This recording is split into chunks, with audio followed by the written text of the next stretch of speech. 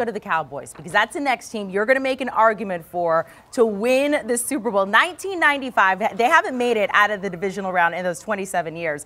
Uh, Forrest Gump was the best picture. Clueless was the hot release. Gangsta's Paradise and TLC's Waterfalls were the top songs, and Jerry Jones was the ripe old age of 53 at the time. JJ, why will the Cowboys win the Super Bowl this year?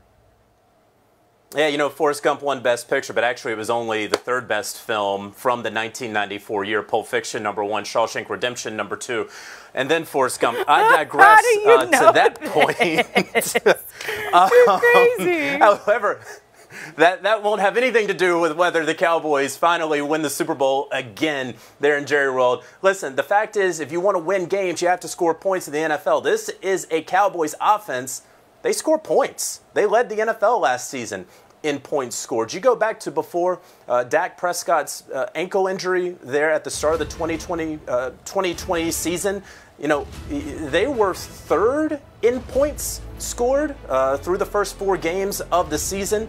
You have Kellen Moore back as offensive coordinator, much like Byron Leftwich, again, until he becomes an NFL head coach. Mike McCarthy, say whatever you want to about him. Those two have figured out how to score points with this Dallas Cowboys offense. I mean, they scored 56 and 51 points in two of their final three games of the regular season, so that matters. And then you know what else matters? Scheduling matters. And the, the, the, Dallas Cowboys had to have loved when this schedule came out because, first of all, they already knew they were playing in the NFC East.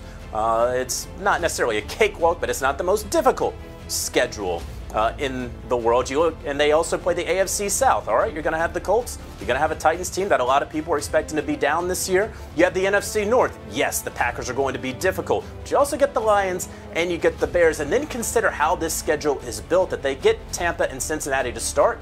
They also have the Rams in week five, but they get a lot of their tough games out of the way early. Not only do they get them out of the way early, but it prepares them for the dog days of the season. And then finally, they have a week nine bye. Is the bye going to come at the right time? The bye comes at the right time for every team, Amanda. But a week nine bye for this team, look who that next game is against. It's at Lambeau. It's the Mike McCarthy revenge game up there in Lambeau where they have a, a street named after him and they get 14 days rest before they face Mike McCarthy. And then finally, the third reason, they have the best pass rusher in the NFL. That's right, I said it. All due respect to all the other pass rushers who were out there and the Bosa brothers and Myles Garrett and the like. Listen, Micah Parsons is a dude who one out of every five times he is attempting to rush the passer, he is going to get pressure on said passer. He has a pressure rate of 21%, which is the highest rate in the next gen stats era dating back to 2016. And he can line up anywhere. He can get pressure from wherever. He can be the off ball linebacker. He can line up along the line of scrimmage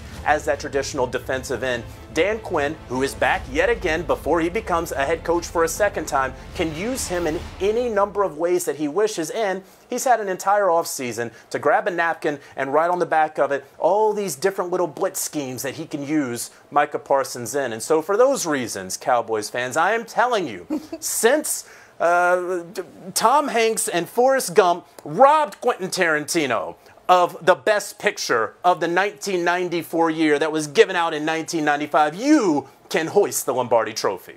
And Micah Parsons was not even born yet. Not even for like another four or five years at that point. Jonathan Jones, we're going to talk after this. I have no idea how you know about all of these movies and what year they came out because I use our good friend Google. But thank you so much for joining us here and making phenomenal arguments, taking a look at odds from these teams in the NFC to go ahead and win the Super Bowl there. Tampa Bay has the best ones at plus 350. Behind them, Green Bay, as JJ said, a little desperation. The Rams, they can do it with all their weapons. And then, of course, the Dallas Cowboys. Everything JJ laid out on the table when it comes to the Cowboys with the easiest schedule tie with Commanders in the entire NFL.